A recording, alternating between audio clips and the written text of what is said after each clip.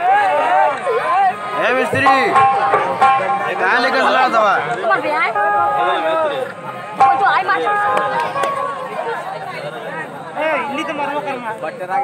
लेकर?